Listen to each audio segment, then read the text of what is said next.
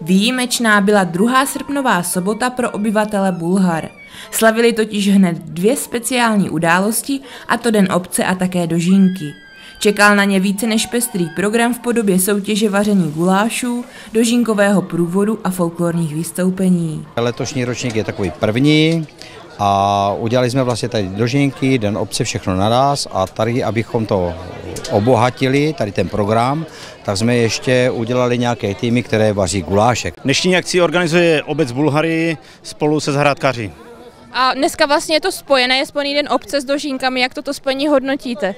Toto spojení je naprosto perfektní, ale je to vlastně jakoby hlavně den obce.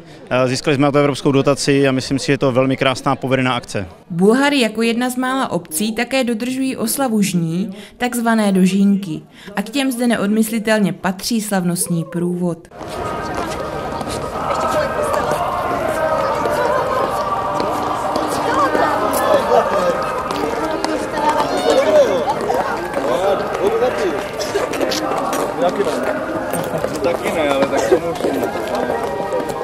我汇报，你告诉我还有？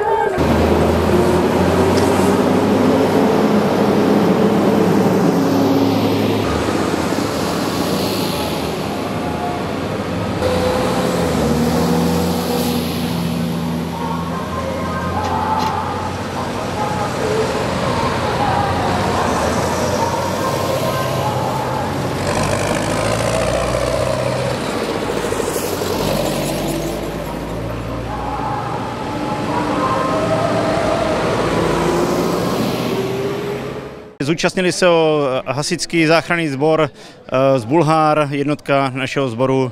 Eh, dále se ho zúčastnilo zemědělské družstvo Bulhary, kde bylo 10 traktorů s kombajnem a manipulátorem. Organizátoři se rozhodli spojit obě akce zejména proto, aby oslava nabyla většího a zajímavějšího rázu a aby se těšila hojné účasti, což se jim povedlo.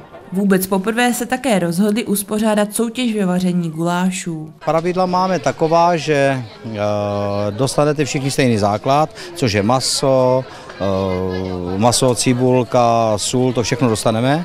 Jo? Začínáme přesně v jednu hodinu.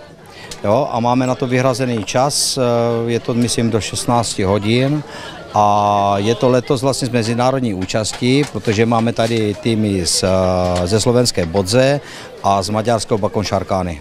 A kolik týmů celkem je? Um, podle všeho mělo by nás být tady 10. A kdo bude výsledné guláše hodnotit?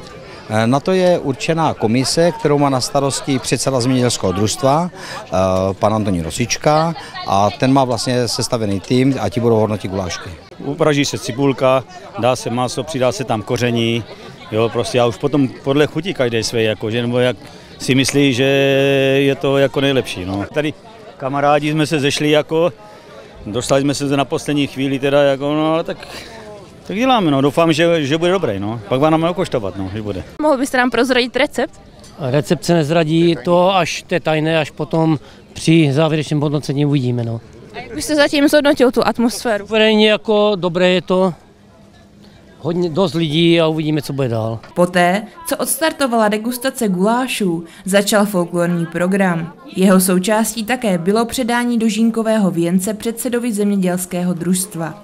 Věnec z místního obilí vyrobila obyvatelka Bulhar paní Němcová. Potom ještě ten folklorní eh, program bude obohacen i o ženský sbor národopisného souboru Hrozének. Dále vystoupí i sbory od našich zahraničních hostů z Maďarska a ze Slovenska. No a večer potom začneme už takovou jinou hudbou. Bude tady vystupovat Zbigněk Drda, bude tady vystupovat Boniem Revival a The Teachers. A my jako zastupitelé jsme se rozhodli mu předat ocenění za celoživotní přínos obci Bulhary. Takže my mu moc krát děkujeme za to všechno, co pro obec Bulhary udělal, protože si myslím, že si to zaslouží a poprosím vás o potlesk.